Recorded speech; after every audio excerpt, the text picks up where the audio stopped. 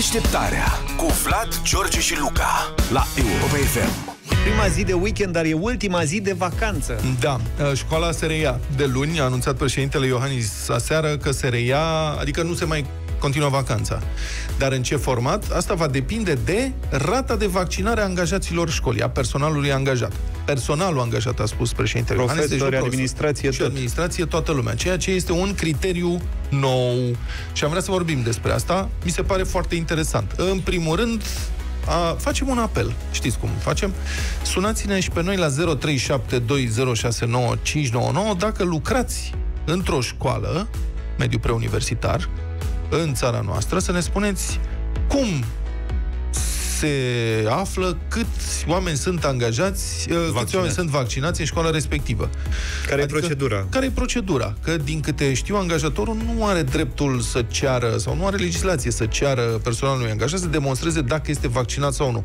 Poate mă înșel eu. Așa funcționa pe bază de declarație pe proprie răspundere sau cum? Bun, e declarație pe proprie răspundere sau cum se face? Deci vrem să, să auzim și noi un profesor care să ne spună 0372069599 sau cineva angajat la o școală.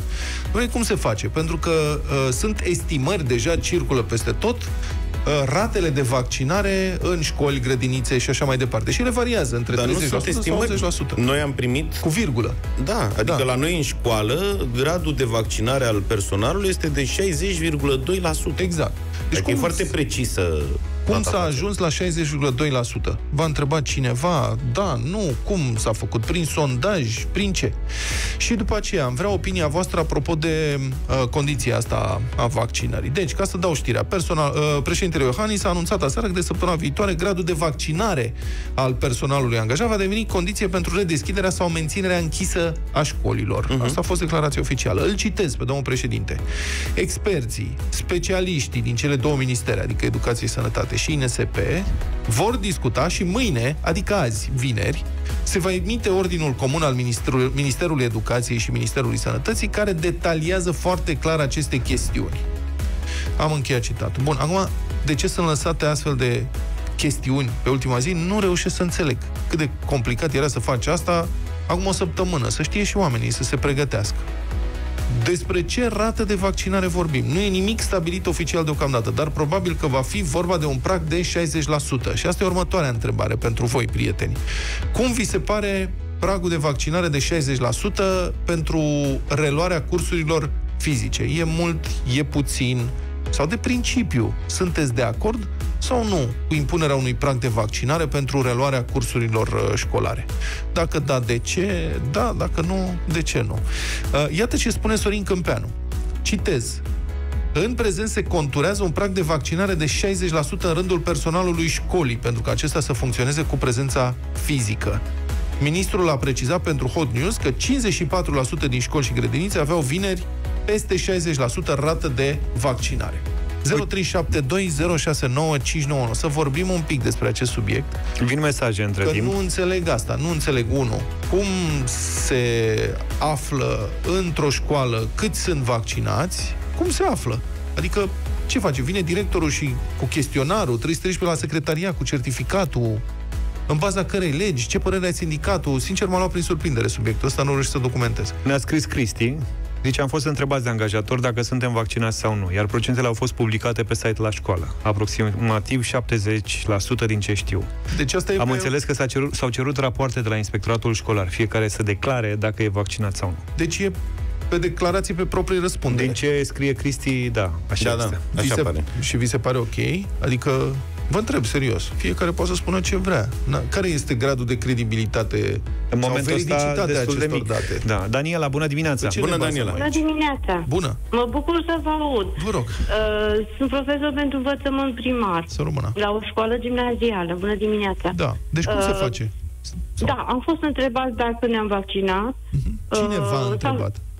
Uh, doamna director. Ok și s-a făcut o statistică, un procentaj, care, așa cum a spus înainte, am auzit că au fost anunțate la inspectorate școlare, uh, nu e neapărat pe propria răspundere, se știe care sunt persoanele vaccinate. Ei, ce înseamnă se știe? Că vorbește adică, lumea pe acolo, nu?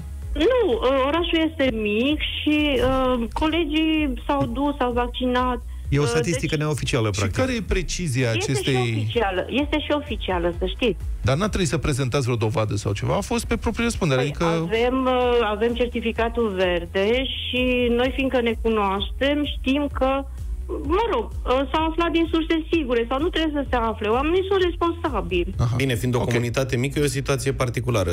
Dar avem uh, confirmarea de la Anca, ne-a Mhm. scris că au avut de completat un tabel în care li s-a solicitat să scrie dacă sunt sau nu vaccinați, iar aceste date s-au centralizat și publicat pe site. Deci Bine, a fost și dacă pe proprie răspundere, practic. Și dacă refuzi să completezi, adică să spui... Eu, nu ca, și- adică Ai nu poate- pledez pentru asta, înțelegeți-mă, eu pledez pentru vaccinare, știți foarte bine, dar nu înțeleg care este precizia acestor date. Poate elucidăm misterul. Costi este director de școală. Ah, bună dimineața! Ziua. Neața. O, domnul director, să trăiți? Pot să folosesc scara director, scara profesorilor? Bună dimineața, bună dimineața. Nu, puteți să folosiți domnul profesor, pentru Da. că director nu ești toată viața. Corect. Nu te pensionezi. Da, domnule profesor, Așa. vă rog. Uh, foarte simplu, da, cum a spus și anteprecedenta mea, uh, greșit, cum a spus și precedenta mea, Da. uh, uh, mi s-a solicitat de la inspectorat uh, o statistică referitoare la numărul și procentul de oameni vaccinați, fără nume. Da? Uh, Și cum ați și făcut? eu sunt director de o școală mică. Noi discutăm uh, liber, deschis, nu e nicio rușine că ești vaccinat sau nevaccinat. Nu e, este decizia fiecăruia. Până la urmă, uh, nu, nu trebuie să ne ascundem că, domne, nu m-am vaccinat sau, domne, m-am vaccinat, aoleu, sunt uh, contagios. Bine, bine ar fi să fie contagios vaccinatul. Ca să fac un, uh, o mică glumă. Da. Uh, i-am întrebat efectiv pe oameni. Aha. Pentru că Și ați raportat discutăm. după ce? În primul Dar nu le-ați rând, în cerut, adică primul nu rând, le-ați putut conversația. cere certificatul verde sau... Nu, nu. Suntem persoane responsabile, lucrăm în, într-un domeniu important Acum, în care se solicită o să, responsabilitate o și... să spună vreun Nu, director nu. de școală, domne, eu le-am cerut, dar noi suntem persoane non-responsabile aici, nerespons- nu știm dacă e valabil ceva din ce am spus, dar hai, trebuie să aveți încredere. Nu. Bun, Nu și știu, cum vi uite, se pare situația pragul asta ăsta? și Nu m-am... uh, Cum vi se pare pragul Uh, ăsta de 60%? Sincer să fiu, sincer să fiu, consideram că trebuie să fie mai mare, pentru că din, sta- din uh, uh, comunicațiile OMS la 70% se poate considera imunizare de masă. Da, Uh, mulțumesc dar- foarte mult. Mulțumesc foarte mult. Dar- Încercăm să... Da. Hai să mai vedem ce vrea să mai spună. Mai avem câteva secunde. Îl mai... să, să ținem, să ridicăm la 70%, pentru că pentru viitorul generațiilor care urmează, nu ne mai permitem să stăm în vacanță sau să facem online. Mulțumesc foarte mult pentru intervenție. Da, confirmă și Laurențiu, am fost întrebați de director pe WhatsApp, nu poate verifica nimeni, fiecare a declarat ce a vrut. Deci pragul ăsta se stabilește așa, prin... Deci cum am primit noi aici pe WhatsApp, bă, sunteți vaccinați sau nu? Hai răspundeți că trebuie să facem Da. un tabel. A, da, și- da, da, da, da, da, Și dacă răspundem toți cu da, mamă, se raportează 100%. record. Da. Ok. Deșteptarea cu Vlad, George și Luca la Europa FM.